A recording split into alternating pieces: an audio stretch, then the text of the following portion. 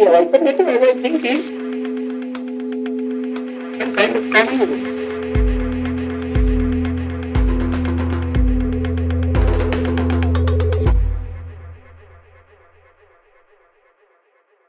Now, the, gen- the question of the general intellect is a, that the term general intellect is something that you find in Marx.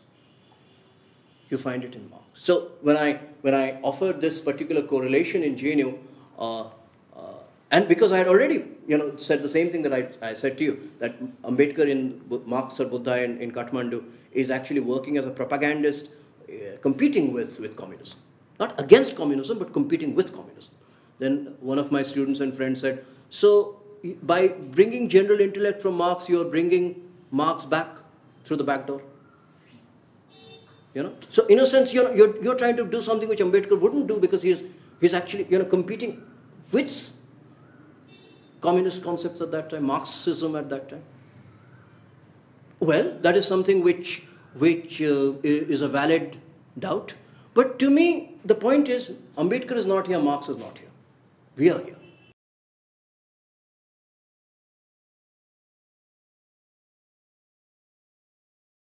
So we are speaking in our own voices.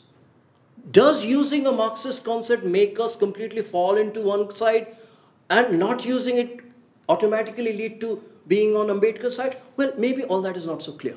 So my, my view is we must work our thoughts in our own voices in our times and make combinations which are our combinations. If that leads to an effect of uh, bringing Marx to the back door, that is not intentional, that is a damage that I'm willing to, you know, uh, to take upon myself. But I'm not doing it in the name of Marxism or in the name of this or that, but I'm doing it as a possible combination to explore and discuss. So having said that,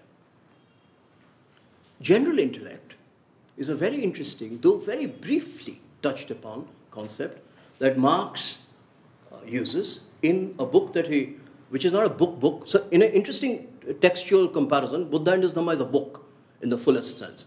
The comparable Marxian text would be Capital, because it is the book in a way. But there's something Marx does before the Capital, which is called Grundrisse. So people who know German, and I don't, they will, of course, be able to tell us what it means in the very exact sense. But basically, it seems to mean something like notes. Notes. Notebooks. Notebooks. So these are notebooks. These are not, this is not a, the book. This is preparation towards the book. So in, in the notebooks of Grundrisse, Marx, towards the very end, it's a, it's a huge work. So the, though, of course, capital is five times or ten times bigger, but even the notes are copious. So towards the very end of these notes, he uh, speaks about something he calls general intellect. And he says something which is really intriguing. He says, general intellect is something like the organs of the brain. Now, see, he's not saying brain is, is the organ of the human being. He's saying general intellect, so brain is something like the physiological organ of human beings. Something which, you know, supposedly biologically enables us to think. But he says the social organs of the brain. So he is now saying that the brain itself seems to be grafted, organs seem, seem to be, organs seemed to be grafted onto the physiological brain. Not grafted in the physical sense, but socially injected, socially grafted. In other words, how the brain is created historically. So not the brain in the head, but the brain as outside.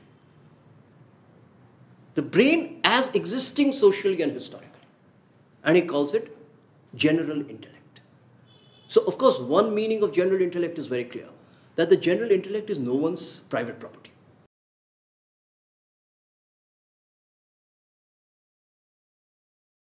The general intellect is indeed not what in Indian context again and again we speak about and we must speak about it, which is the, the, the, the mediocrity of the idea of, the, of merit.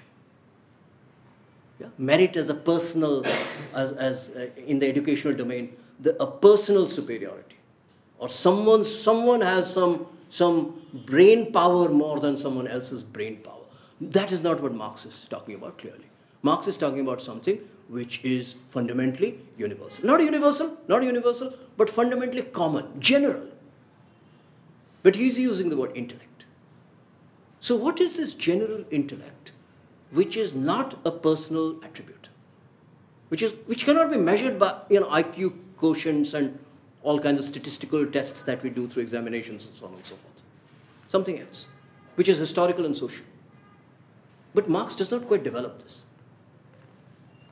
And there is one thing that Marx actually points towards within capitalism, and interestingly, it's a negative characterization. And some Italian thinkers have pointed this out. And what Marx says is look, uh, in capitalism, this kind of general intellect is what? Is basically machinery. So if you have, let's say, a big factory, uh, you know, technology, in our times, computer, lots of computer program, it is produced by collective intellect. But at the same time, it is something fixed. It is something which is the pure scientific instrument through which our lives are being controlled by eventually not just that instrument, but its marketization, its capitalization. So, in that sense, capitalism is a capture of the general intellect. And science, scientific achievements, those very things which in our times we call development are precisely the general intellect but understood in the negative sense. So, in our country, since particularly the last five, six years, the word development has been made into an absolute that, you know, no politics, only development. Right? Now, what is development? In Marx's understanding of one kind at least, development is the general intellect. But general intellect understood, again, to use a characterization I used earlier in the context of religion, general intellect as rigidified. General intellect which has been stopped. So machinery is a kind of stopping. You say, oh, bullet train, general intellect. So bullet train is general intellect. India's greatness. That's general intellect. But it is also Beyond bullet train, nothing else. No other, so no questioning of anything but the bullet train. So, so general intellect then becomes a fetish, an ideology. So Marx, in a sense, is writing something which seems to start off with a very strong positive possibility and immediately he cuts it down because he's talking about general intellect, eh, general intellect in capital, in capitalism. So certain Italian thinkers from the 1970s who have been reading Grundrisse in a new way, uh, who are called the auto- autonomists, who are part of the history of communism but also broken with this Russia-centric uh, Stalin communism, but also taken a distance from Maoism, though they have been more responsive to Maoism, but taken a distance from that too. And they have developed a certain, what they call anti-work, uh, anti-fetishization of labor in capitalism, and creating a new culture of autonomous thinking, autonomous intellectuality. Something which is an intellectuality which is not merely appropriated and exploited, but a, a, fundamental intellectuality. So it's very close to Mao. Mao also speaks of the people as intellectual. It's also close to Gramsci. All men are intellectuals. But it's somewhat different also. Because the Italian autonomous thinkers, this intellectuality is already a kind of revolutionary force. This common intellectuality is not a nominal idea that all men think. No. They're saying the fact that all men think means something more, which is, to use a philosophical word, ontological. That all human beings think collectively. So there is nothing like privacy of thinking. Thinking is not private. So they try to draw out something much larger than what, uh, what even Mao, though Mao was a very powerful thinker in this, in this light, but it was more practical and programmatic. To, because Mao was also interested in opening up a kind of, a kind of collective popular education. And in doing that, he also did terribly wrong things. But that was this. They are not saying this. They are openly philosophical, or ontological. They say, no, no, we, we do all that or not do it, that's a different thing, policy matter. But we must, must first recognize the fundamental intellectuality, which is transformative, revolutionary in the human being as a collective being, as a generic being. So, in that sense, they use the general intellect. And to do this, of course, they read along with Marx other European thinkers like Hannah Arendt. So, they, they take a particular phrase from Hannah Arendt. They say general intellect is always uh, Arendt this, uses this phrase in the presence of others. We are never alone. We are never isolated. We are never private. We are always in the presence of others. So, general intellect is always in the presence of others.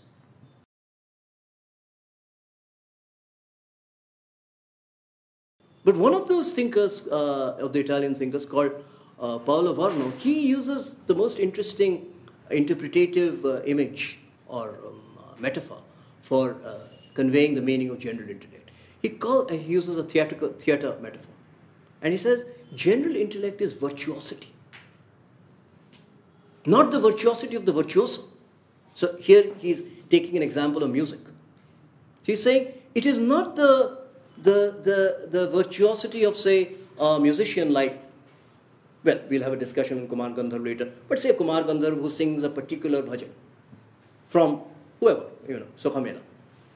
So it's not the, the virtuosity of Kumar Gandharv. It's not, he takes the example of Glenn Gould, the Glenn Gould, the great pianist. So it's not Glenn Gould's virtuosity the way he performs Bach. he says Glenn Gould can perform, and Glenn Gould performed Bach in many ways over the lifetime, over his lifetime. So Glenn Gould towards the end performed Bach with an infinite slowness. And he himself said that I discovered a new kind of sound in Bach when I performed it later. Earlier it was much more rhythmic and fast. He says, all this is true, but this is not fundamentally the meaning of virtuosity. It is the other way around. Because there is virtuosity, hence Glenn Gould can do this variation through his life. So, in that sense, virtuosity is something which is, uh, which is a, they call it faculty. And interestingly, they correlate it with contemporary modes of labor. So uh, uh, they use, on Paolo Virno in particular, he uses both the objective idea of a kind of collective intellect and the specific historical forms of labor in our times. And he says in, in post-Fordist globalized capital, labor is not anymore individualized. So if you look at labor as performed in the, you know, digital labor, in, in, in, in, in, in, the, in the hospitality industry, and in several areas of life, several areas of work, what you find is labor is already collectivized. So for instance, if you're working on the computer, then you might be doing a specific thing, but everyone's working on the computer. So to that extent, the computer is a minimal and a rigidified, degenerate image, still an image of a direct exploitation of the collective intellect. Rather than the old idea of a specialized worker who only works on one part of the machine, which is the assembly line the individual specialized worker, which is who is not a virtuoso, who is in that sense an old actor from the Stanislavskian school. Anyway, I don't want to get into the theater metaphor too much. Some of you might get bored with that, but uh, but it is an interesting it is an interesting correlation from theater that he uses. That the old actor is always specialized. The Stanislavskian actor cannot act, uh, you know, uh, uh, he is but not particularly good at singing and dancing. But the modern actor is not like that. The virtuoso is not like that. The virtuoso can do a little bit of singing, little bit of dancing, and can make combinations. This is the most important thing. Make combinations, configurations. So in that sense, the, and again the point is, it is not that the empirical combinations which an X actor or X performer or X musician does. It is an inherent faculty, this combinability, if I may use this horrible, barbaric, wrong word. I don't think there is any such word, but let me still do it this ability to combine, ability to make hybrids. So general intellect is this ability of hybridization. So it seems to me, and this is the last part that I'm going to you know, finish with this, it seems to me that this part of um, uh, re the reading of Marx has some uh, interest. That we are talking of something which is a faculty, but it is not a faculty which is, a, which is, which is a, a, a, a delimited faculty. It is a general faculty. It is a faculty which comes with the very being of being human. In that sense, it is egalitarian. So general intellect in this reading is an egalitarian basis on which then you can analyze the, the very mobilization of egalitarian faculties for inegalitarian ex exploitative ends that capitalism does with modern labor. That's what the Italian thinkers are saying, basically. But you see the paradox then? The paradox is that if capitalism is actually using the egalitarian basis of human society, human collectivity, for inegalitarian reasons, then they are on the edge. Because the moment human society realizes that fundamentally, ontologically, we're equal, then they will reject capitalism as an idea. And this is the hope that the Italian thinkers, autonomous thinkers, they stake their whole thinking on. And which is that because capitalism has pushed human society to the edge where their fundamental faculty of collective intellect is now being exploited, at some point, human beings will, it will hit them and they will come together on the basis of that very collective intellect, egalitarian intellect, and go beyond capitalism. This is the kind of revolutionary hypothesis uh, that they posit. Now, what has this to do with the uh, Buddha and his Dhamma? Now, it seems to me that in Buddha and his Dhamma, it's a huge book with, with, with a particular structure which is entirely deceptively simple in terms of storytelling and prescriptions and marked out programmatically in numbers and so on and so forth. But there is a fundamental point that Ambedkar is making in Buddha and his Dhamma, which is the point of parivraja. The whole book, in a sense, is a meditation. Though the first book is the, where, uh, is the one where it comes out most clearly, which is the meaning of parivraja. And he's saying that the meaning of parivraja must be freed from its, in that sense, its uh, habitual Buddhist history of reading, even of certain dogmatic reading or a naive reading. And that's why when he tells the story of Siddharth's Parivraja, he actually does something very close to what Brecht did, Bertolt Brecht did, when he wrote a whole speculative notes on Hamlet. Why did Hamlet do, or what was Hamlet's problem? And he said, please don't bring it to psychology. You have to actually look at the situation of Denmark and Norway at that time. Border. It has something to do with borders. This is what said. It's something to do with borders. Something to do with Norway's prince coming into Denmark and the Denmark's prince not being able to handle this political crisis. And that's exactly what happens in Hamlet. Towards the end, Norway's prince Fortinbras comes and takes over Denmark. And Brecht says that is how to understand Brecht, uh, Hamlet. Don't do it through the usual literary analysis of Hamlet's psychology and Hamlet's inwardness. This is what Ambedkar does in a way with, with Siddharth. He says, don't look at it through some inner conversion merely. Look at it through a problem. Siddharth faces a problem. And what is that problem? A problem of war. And a problem of war is not a problem in the mind, it happens in the world, in history. And what does a problem provoke you to do or force you to do? To take decision. Whether in that time or our times or any other time. If there is a problem of war, then you have to take a decision. Will I join the war? Will I be kind of, you know, like Mother Courage in Brecht, pretend as if the war doesn't exist and just do what I'm supposed to do, make money? Because my children, I have to feed my children? Is that possible? No. After a point, you will, you know, victimize your own children because you have not taken a position on the war. Do I become a pacifist? Like in the 60s in America and other European countries, uh, the, during the Vietnam time, people became pacifists, open pacifists, students in particular. So these are decisions to be taken. So, the point is, it responds to a problem, but it, it is not the problem of uh, the military. It is not the problem of, though of course, it is a problem of military with Siddharth because he has to actually, is part of the campaign. But he, in a sense, subtracts himself from the military establishment, the military technocratic establishment of uh, of that whole uh, setup, of his own father's kingdom.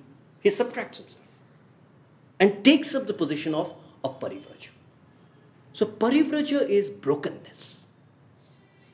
And it is literally brokenness. Means you, so that's why the theme of nomadism must come back. Nomadism is not just a romantic tendency of moving around. Nomadism is always a decision to cross a line or to go somewhere else. Nomadism is a specific becoming in the face of a real problem. This is what Siddharth does. He decides to become something, which is a nomad. And he says, to, by doing this, I will also partly also you know, solve the problem of patriotism against my own country? Am I becoming an anti-national, so on? No. I'll do something which will make me step out of that particular sort of a bind that I've been put into. In that sense, there's also in Parivraja the response of the intellect, which is to a problem, but through intermediate tactical steps. So it is not an absolute decision, it is also a tactically created decision. In other words, there is intelligence. But intelligence itself is articulated at different levels. So I have always called Buddha and his Dhamma a book of intelligence, even before making this correlation with general intellect. It is a book of intelligence. And intelligence is not simply uh, an absolute word or a measurable idea. Intelligence is tactical movement, a nomadism of thinking vis a vis problems. And a problem is always specific. And in a way, the entire Buddha and his Dhamma is a story of intelligence vis-a-vis problems. And possible problems and the possible intelligence to adopt collectively. So if you, if you accept this kind of an overall characterization of the Buddha and his Dhamma, then at the end, you find that this idea of parivraja as a nomadism or as the moment which creates a nomadism, which is you move somewhere else, you cross a line, you move through a line or on a line. This meaning comes across in a very precise way in the lecture Marx Buddha when Ambedkar says that with the problem with the Russian experiment with the state and so on of Marxism is that they use force. The state is an instrument of force. Now, it's a, it's a fascinating and complicated discussion. Is Ambedkar anti-state? That would be very strange because Ambedkar is probably the thinker who wanted to produce a neutral state in, through the Indian constitution, which would then take away the corporate social units which is caste. So he always said, state must not be anyone's property. No caste must own the state. So uh, we need to build, in that sense, a theory of the state which is autonomous from the caste, from caste. Because each caste is only a corporate being corporate social, as anti-social social. State must go beyond that. So he went to the extent of saying that, you know, hum, uh, human rights, rights, fundamental rights, are a gift of the state. So it seems as if, oh, he's giving everything to the state, and isn't the state authoritarian, isn't the state police? But he's doing it for a reason, very specific reason. And states and minorities, if you read the other text, it comes up clearly. But that's not my topic today. On the other hand, when he's discussing Marx and Russia, he's clearly saying that Lenin, basically he's addressing Lenin, he's saying Lenin has pitched all his hopes on the state. You say dictatorship of the proletariat, very good. But dictatorship of the proletariat is still the dictatorship of the state. The proletariat can take over the state, but they can't change the nature of the state. So wouldn't, wouldn't that automatically make the proletariat equally a statist oppressive force? And once that happens, then what will happen? At some point, this contradiction will, will, will produce a breakdown in the state, and then what will happen? And he asks this question prophetically that if this fails, and it is kind of failing, then what will happen to Russia? And he says it will lead to bloodshed. Exactly what happened after the fall of the Soviet Union led to ethnic strife, retrograde, identitarian, uh, clinging to identitarian uh, passions and so on and so forth. Prophetically, Ambedkar says. Now, if all of this is going on, uh, then what is the alternative? Because after all, the, the, the purpose of the proletariat state is a good purpose. That Ambedkar doesn't deny, which is to provide some kind of a egalitarian ground civic ground, administrative ground for everyone. So land reform and so on and so forth. But he says the method, because it's also expropriative. The kulaks, the kulaks are, yes, a terribly oppressive and old archaic force. But if you're going to forcefully take land away from the kulaks and kill them, then you've already unleashed the power of the state, which potentially is self-destructive and also destructive of democracy. So basically he's saying it's a question of democracy. And he makes a clear statement. He says Buddha is democratic, while Marxism doesn't seem to be sufficiently commensurable with democracy. But what is democracy? What is democracy? Is democracy administration, good administration, but still administration. He says, no, democracy is not government. Democracy is a kind of disposition.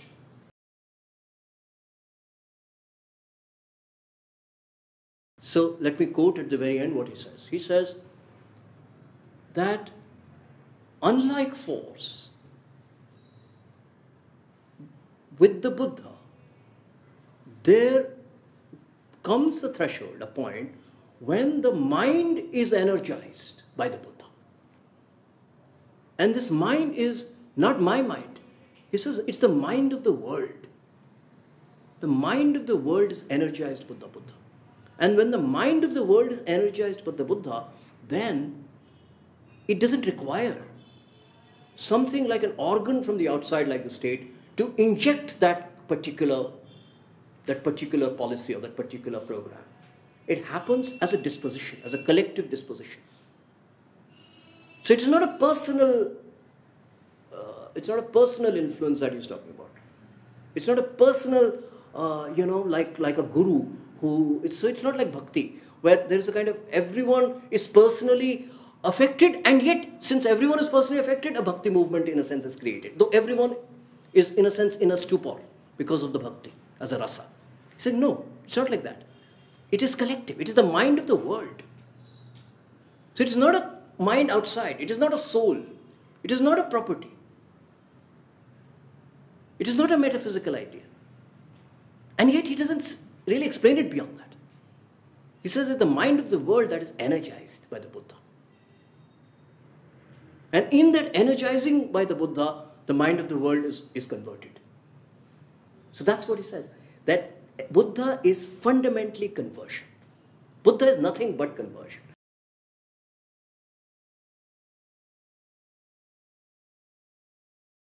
Conversion is parivraja. So you see, you get two very interesting, correlated and yet different meanings of parivraja. Parivraja is the brokenness that is produced by history. And at the same time, parivraja is the conversion which also overcomes the problem of history through, to, through a new synthesis, a new form of life, a new disposition, which the communists are trying to bring in through something like the state according to Ambedkar. And to him, that is, that is external.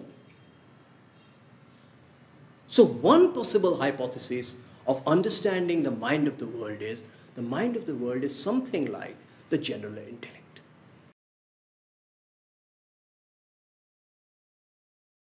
Because the mind of the world is not a transcendental uh, space, it is not a soul, it is not God, it is worldly. And at the same time, the mind of the world is something which is open to change.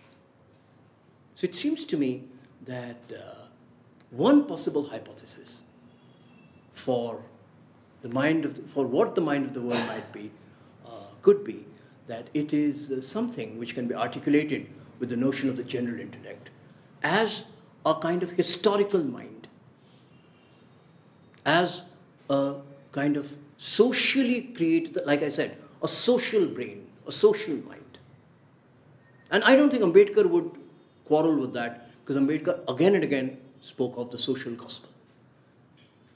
But of course, at the very end, we must remember that the problem is not solved, or while the problems are being solved, new problems are arising.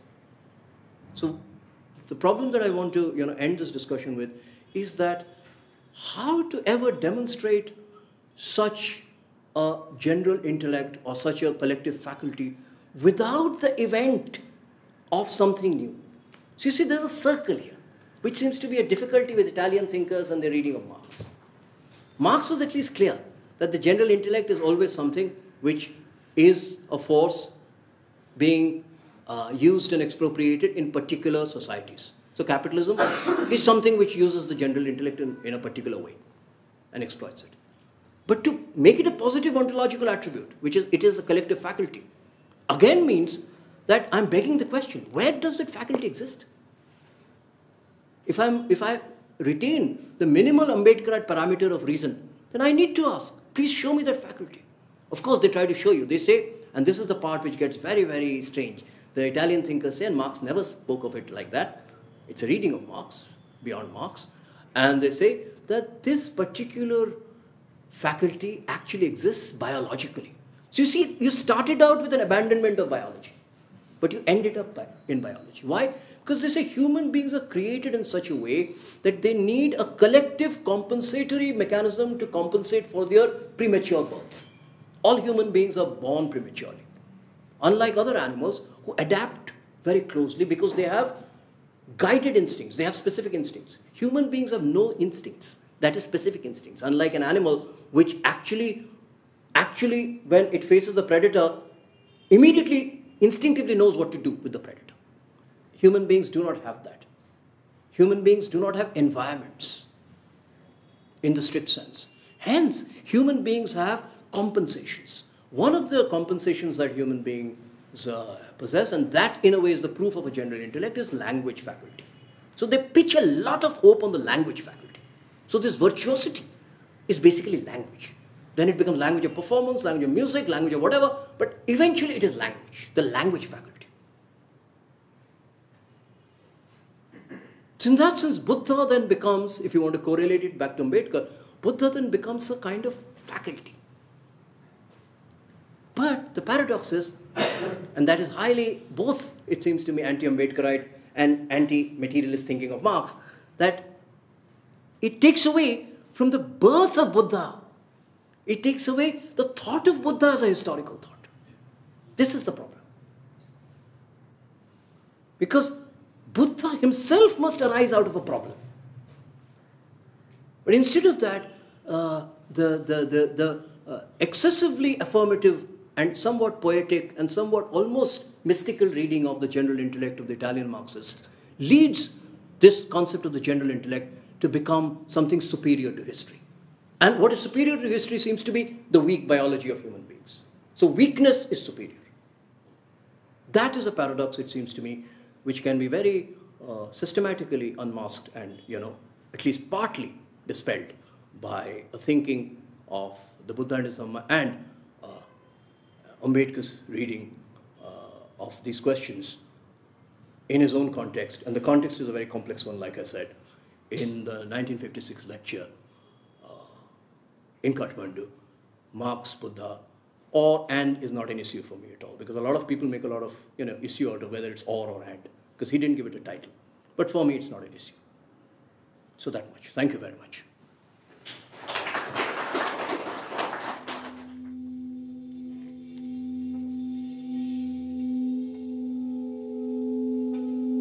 The alternative, I think, is